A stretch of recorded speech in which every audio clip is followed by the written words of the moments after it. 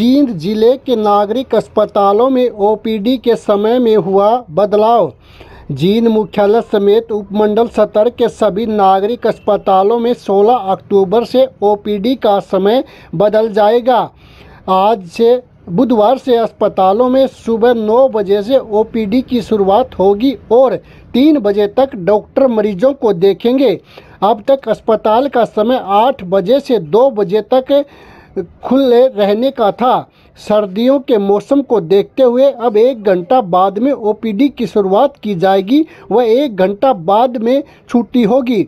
OPD के अलावा दवा लेने और टेस्ट कराने के समय में भी परिवर्तन हो गया है। वहीं दूसरी ओर सर्दी बढ़ते ही अस्पताल में मरीजों की संख्या में भी इजाफा हुआ है। बदलते मौसम की वजह से बुखार जुखाम खांसी एवं अन्य बीमारियों से पीड़ित लोगों लोग अस्पताल में पहुँच रहे हैं।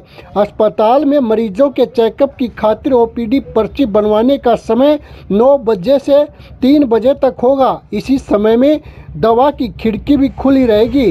अस्पताल में होने वाले विभिन्न तरह के टेस्ट के लिए लैब में सैंपल का समय सुबह 9 बजे से 12 बजे तक रहेगा।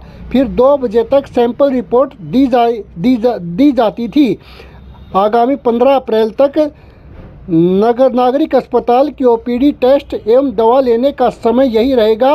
नागरिक अस्पताल deputy MS doctor Rajesh Bhola ने बताया कि 16 अक्टूबर से अस्पताल के ओपीडी के समय में बदलाव किया जा रहा है, जो 15 अप्रैल तक 9 बजे ही अस्पताल खुलेगा। उसके बाद ही समय में बदलाव किया जाएगा।